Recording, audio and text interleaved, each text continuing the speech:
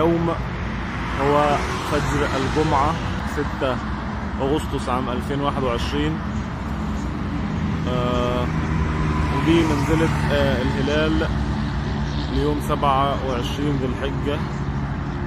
فجر يوم 27 ذي الحجة الجمعة حسب التقويم الرسمي لأم القرى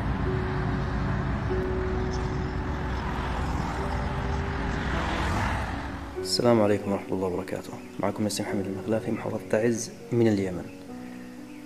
الآن الساعة آه، خمسة وسبعة وعشرين دقيقة سبعة أغسطس ألفين واحد وعشرين صباح السبت. الموافق ثمانية وعشرين ذي الحجة ألف أربعمية واثنين وأربعين. طبعا الهلال ظهر عندي من خلف السحب مثل ما تشاهدوا أيوة ظاهر أمامكم. آه، واتجاه يعني آه، قرنيه.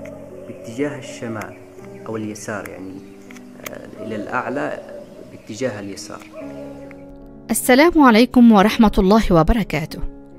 آية من بعد آية، لعل الناس بآيات الله يوقنون، فيعودوا إلى ربهم تائبين منيبين، وطائعين لخليفته الأخير على الأرض، الإمام ناصر محمد اليماني، لينقذهم به من حرب المناخ وقوارعه العظيمة، ومن حرب ما يسمونه كورونا، جندي الله الخفي.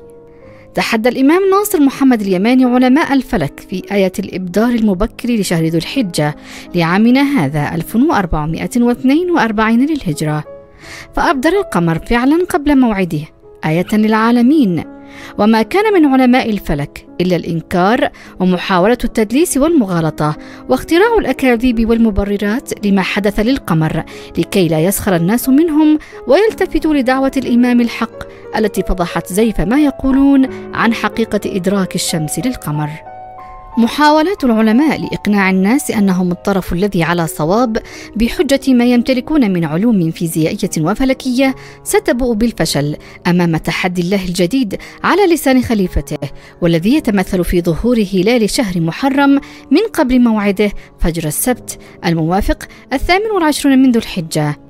وهذا اقتباس من بيان سطره الإمام بتاريخ السادس من أغسطس لسنة 2021 الموافق السابع والعشرون من ذو الحجة لسنة 1442 يقول فيه ولكن ما أريد قوله هو إذا أراد الله أن يزيد الحجة عليكم فيريكم هلال شهر محرم فجر غدا السبت في الظلام وهو في حالة إدراك كون الشمس إلى الشرق منه.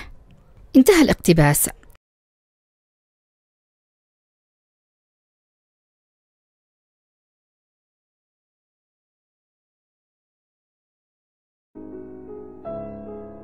وعليه فإننا ندعو الناس جميعا لمتابعة هذا التحدي وهذا الحدث العظيم المصدق لآية إدراك الشمس للقمر والمنذر باقتراب كوكب العذاب سقر نيبيرو الذي اقترب موعد مروره وإشراقه على العالمين من الجهة الجنوبية للأرض فيسد أفقها الجنوبي من شرقه إلى غربه وإنه نبأ عظيم أنتم عنه معرضون ويا ترى بماذا سيرد علماء الفلك هذه المرة تجاه هذا التحدي وهذه الآية العظيمة؟ هذا ما سوف نتابعه نحن وأنتم بعد الحدث، فارتقبوا واشهدوا بالحق ونحن معكم من الشاهدين.